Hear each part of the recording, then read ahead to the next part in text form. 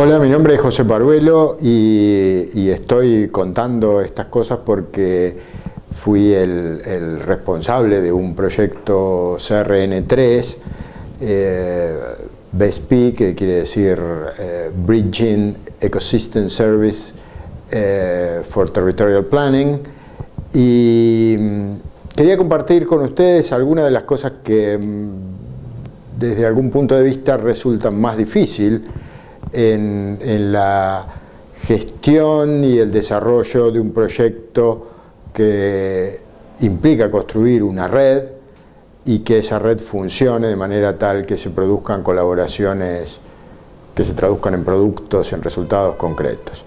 Y, y, el secreto, yo no lo tengo, pero sí algunas pistas de por dónde empezar. Primero, en cualquier red lo importante son los nodos y, identificar los nodos es crítico.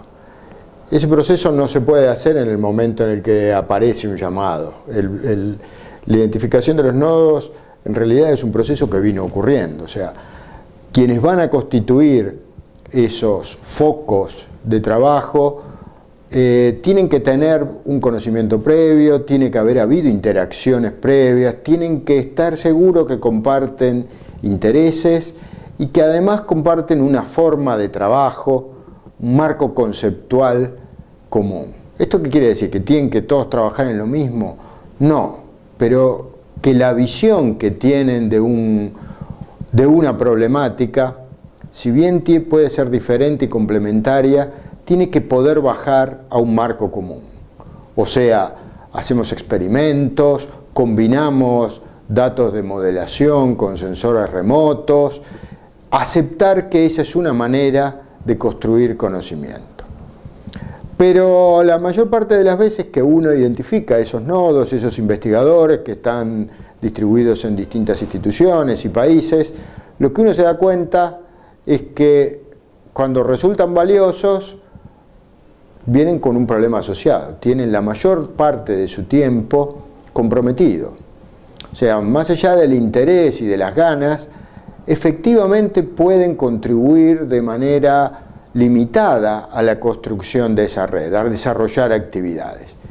Y es entonces donde resulta imprescindible encontrar los puentes entre esos nodos, porque en sí mismo no lo pueden hacer. Un investigador en la Universidad Nacional Autónoma de México y una en, la Universidad de la República en Montevideo, tienen una cantidad de compromisos que les impide juntarse, desarrollar actividades en común, participar en todos los workshops y las reuniones que son necesarios.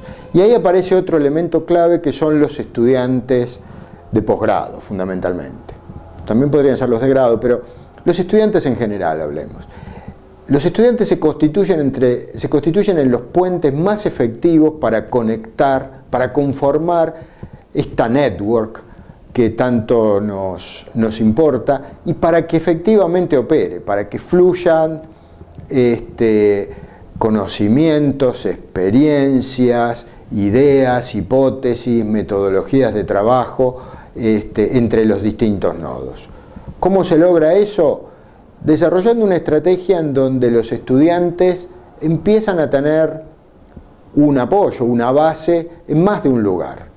¿Cómo se hace esto? Compartiendo tutorías, desarrollando programas que fomenten los enfoques multi e interdisciplinarios en los programas o en los proyectos de tesis, que de alguna manera fuercen la necesidad de vincularse con otros este, investigadores.